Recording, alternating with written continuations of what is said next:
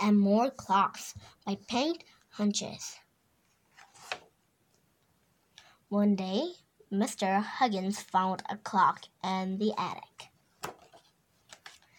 It looked very spitted, standing there, splendid, standing there. How do I know it is correct? he thought.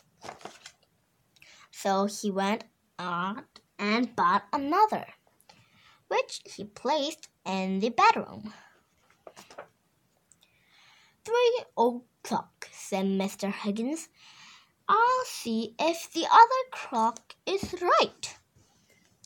He ran up to the attic, but the clock said one minute past three.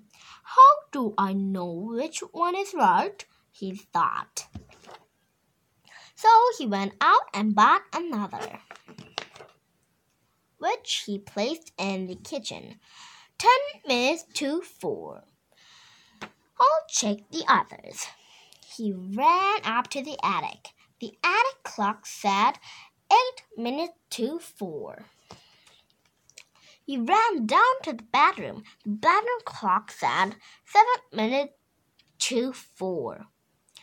I still don't know which one is right, he thought. So he went out and bought another, which he placed in the hall. Twenty minutes past four, he said, and ran up to the attic.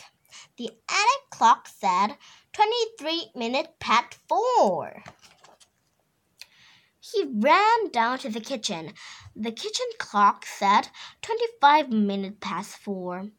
He ran up to the bedroom. The bedroom clock said 26 minutes past four.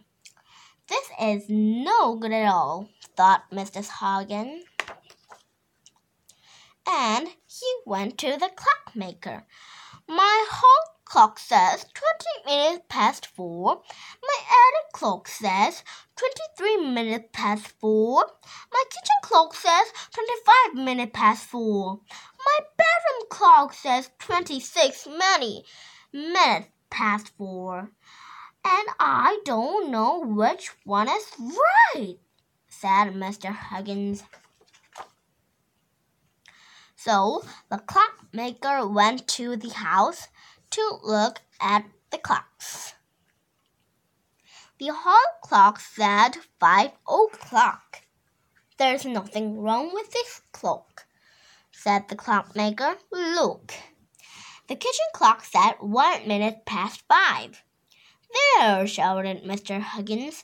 Your watch said five o'clock. But it is one minute past now, said the clockmaker. Look! The mm-hmm. bedroom clock said two minutes past five. Absolutely correct, said the clockmaker. Look. The attic clock said three minutes past five. There's nothing wrong with this clock either, said the clockmaker. Look. What a wonderful watch, said Mr. Huggins and he went out and bought a one. And since he bought his watch, all his clock has been right. The end.